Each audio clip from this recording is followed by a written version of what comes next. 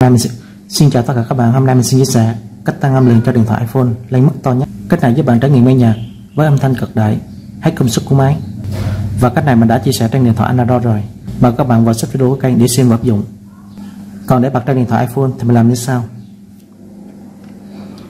Đầu tiên mình vào một cài đặt trên thiết bị nè. Tiếp theo mình sẽ kéo xuống.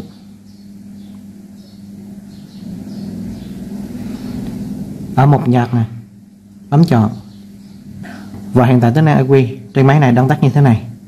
Bấm chọn. Tiếp tục mình sẽ kéo xuống chọn đến mục đêm khuya. Như vậy là xong lúc này âm thanh của máy bạn sẽ nghe được to nhất. Sau đó mình sẽ bấm trở lại nè, một cài đặt nè. Tiếp theo mình sẽ kéo lên nè.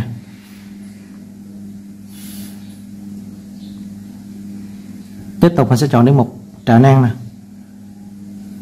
tiếp tục mình sẽ kéo xuống chọn đến mục âm thanh và hình ảnh nè. Hiện tại tính năng. Thích nghi tai nghe nè đang tắt như thế này. Bấm chọn. Các bạn sẽ bật tính năng này lên. Bật tính năng thích nghi tai nghe nè. Tiếp theo lúc này để âm lượng của máy phát to nhất thì các bạn kéo thanh này từ mất nhẹ lên mất mạnh như thế này.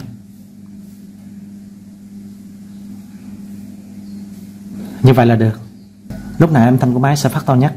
Cách chỉnh âm lượng to nhất trên điện thoại iPhone như thế này rất đơn giản. Các bạn có thể là cài đặt trải nghiệm. Video của mình đến đây là kết thúc. Xin chào tất cả các bạn.